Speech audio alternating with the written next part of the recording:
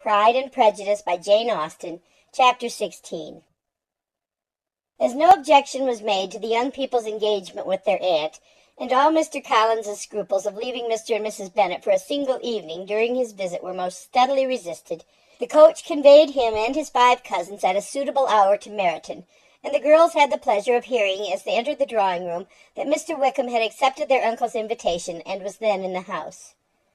When this information was given, and they had all taken their seats, Mr. Collins was at leisure to look around him and admire. And he was so much struck with the size and furniture of the apartment that he declared he might almost have supposed himself in the small summer breakfast parlour at Rosings. A comparison that did not at first convey much gratification, but when Mrs. Phillips understood from him what Rosings was and who was its proprietor, when she had listened to the description of only one of Lady Catherine's drawing-rooms, and found that the chimney-piece alone had cost eight hundred pounds, she felt all the force of the compliment, and would hardly have resented a comparison with the housekeeper's room. In describing to her all the grandeur of Lady Catherine and her mansion, with occasional digressions in praise of his own humble abode, and the improvements it was receiving, he was happily employed until the gentleman joined them, and he found in Mrs. Phillips a very attentive listener, whose opinion of his consequence increased with what she heard, and who was resolving to retail it all among her neighbours as soon as she could. To the girls, who could not listen to their cousin, and who had nothing to do but to wish for an instrument and examine their own indifferent imitations of china on the mantelpiece, the interval of waiting appeared very long. It was over at last, however. The gentleman did approach, and when Mr. Wickham walked into the room, Elizabeth felt that she had neither been seeing him before nor thinking of him since with the smallest degree of unreasonable admiration. The officers of the shire were in general a very creditable, gentlemanlike set, and the best of them were of the present party. But Mr. Wickham was as far beyond them all in person, countenance, air, and walk, as they were superior to the broad-faced, stuffy Uncle Phillips breathing port wine who followed them into the room. Mr. Wickham was the happy man towards whom almost every female eye was turned, and Elizabeth was the happy woman by whom he finally seated himself, and the agreeable manner in which he immediately fell into conversation, though it was only on its being a wet night, made her feel that the commonest, dullest, most threadbare topic might be rendered interesting by the skill of the speaker. With such rivals for the notice of the fair as Mr. Wickham and the officers, Mr. Collins seemed to sink into insignificance. To the young ladies he certainly was nothing, but he had still at intervals a kind listener in Mrs. Phillips, and was, by her watchfulness, most abundantly supplied with coffee and muffin. When the card tables were placed, he had the opportunity of obliging her in turn by sitting down to whist. "I know little of the game at present," said he, "but I shall be glad to improve myself, for in my situation in life Mrs. Phillips was very glad for his compliance, but could not wait for his reason. Mr. Wickham did not play at whist, and with ready delight was he received at the other table between Elizabeth and Lydia. At first there seemed danger of Lydia's engrossing him entirely, for she was a most determined talker, but being likewise extremely fond of lottery tickets, she soon grew too much interested in the game, too eager in making bets and exclaiming after prizes, to have attention for anyone in particular. Allowing for the common demands of the game, Mr. Wickham was therefore at leisure to talk to Elizabeth, and she was very willing to hear him, though what she chiefly wished to hear she could not hope to be told, the history of his acquaintance with Mr. Darcy. She dared not even mention that gentleman. Her curiosity, however, was unexpectedly relieved. Mr. Wickham began the subject himself. He inquired how far Netherfield was from Meryton, and after receiving her answer, asked in a hesitating manner how long Mr. Darcy had been staying there.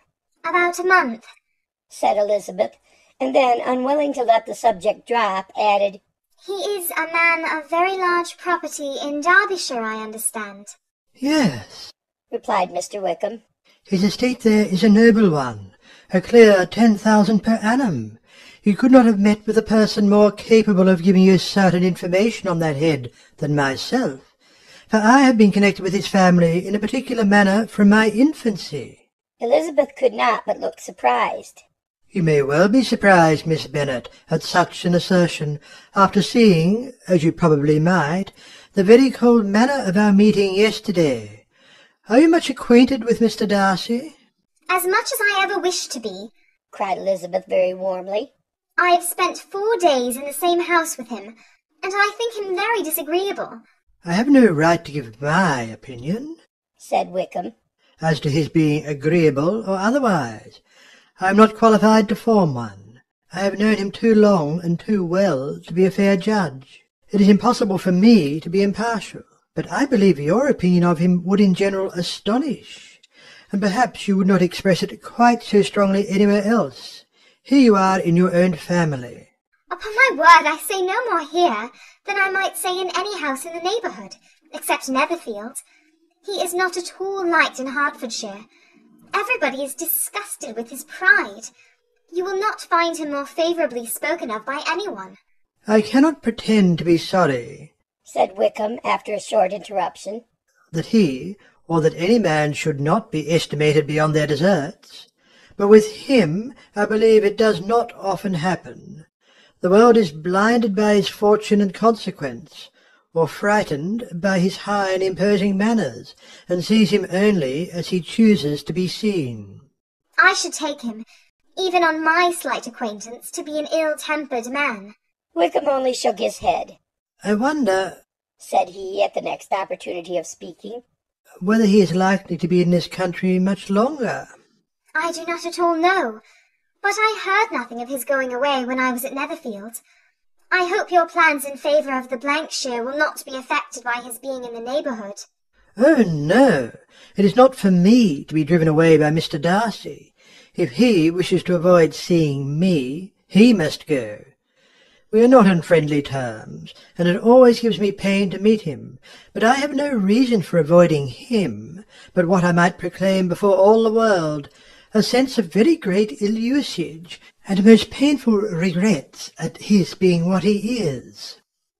His father, Miss Bennet, the late Mr. Darcy, was one of the best men that ever breathed, and the truest friend I ever had and I can never be in company with this Mr. Darcy without being grieved to the soul by a thousand tender recollections.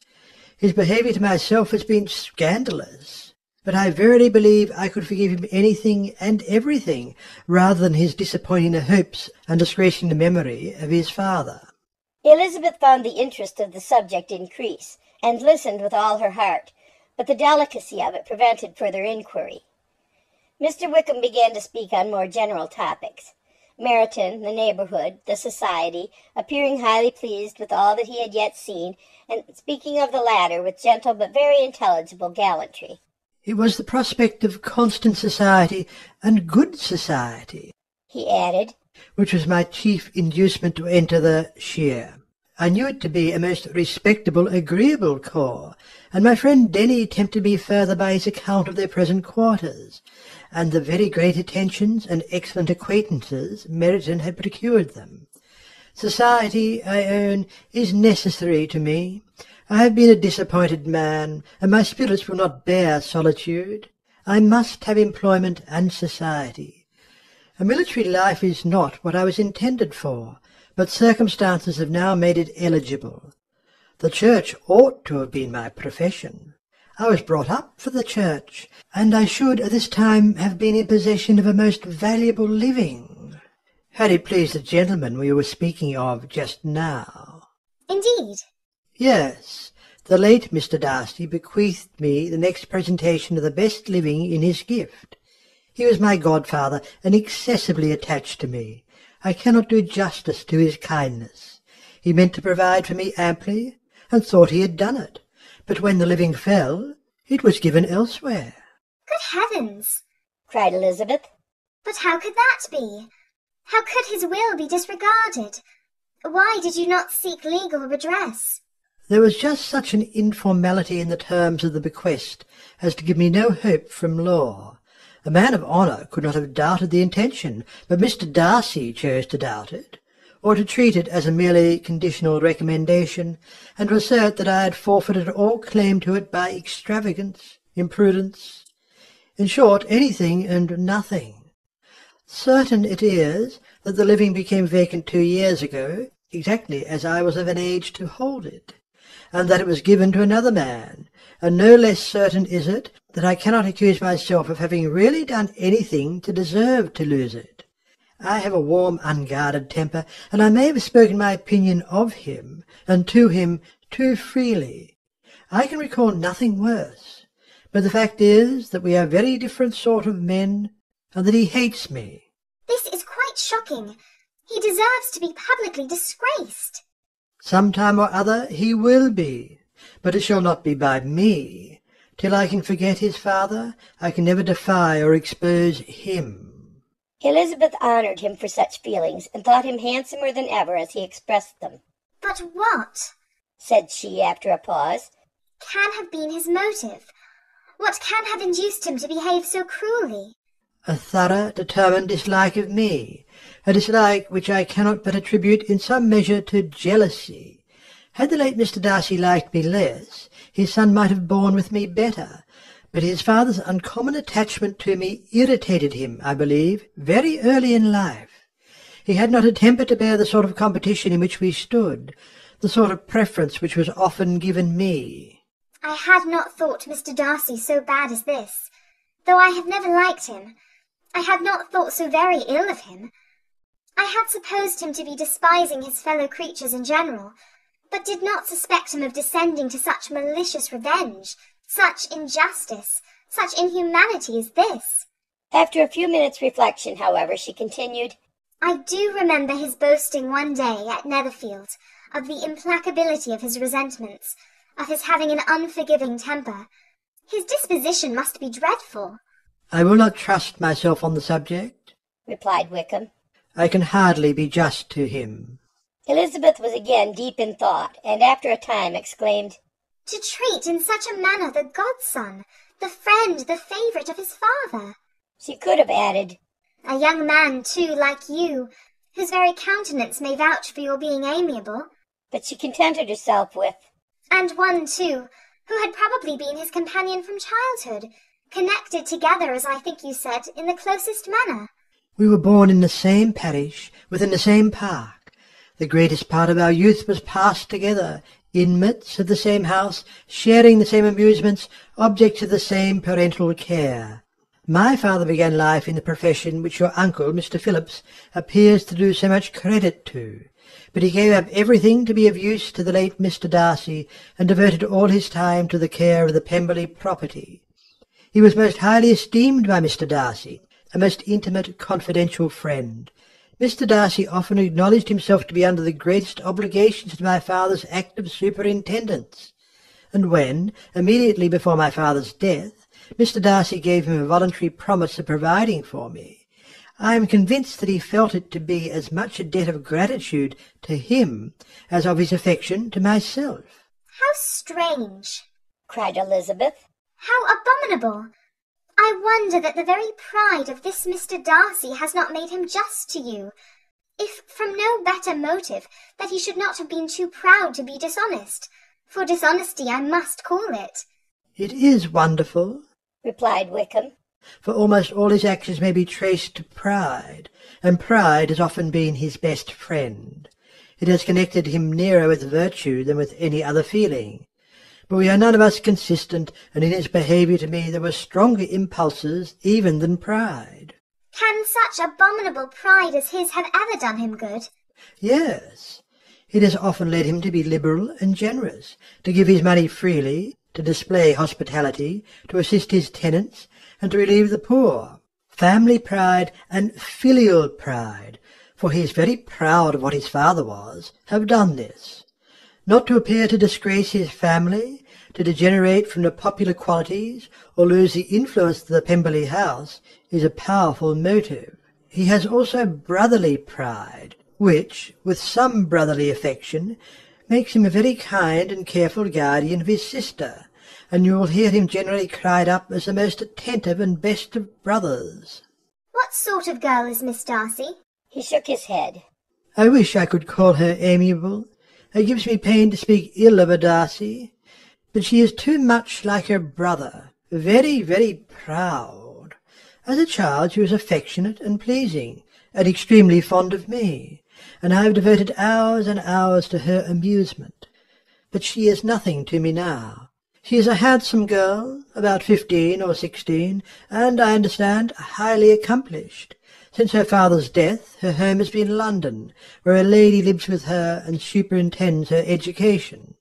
After many pauses and many trials of other subjects, Elizabeth could not help reverting once more to the first and saying, I am astonished at his intimacy with Mr. Bingley. How can Mr. Bingley, who seems good humour itself, and is, I really believe, truly amiable, be in friendship with such a man? How can they suit each other? Do you know Mr. Bingley? Not at all. He is a sweet-tempered, amiable, charming man.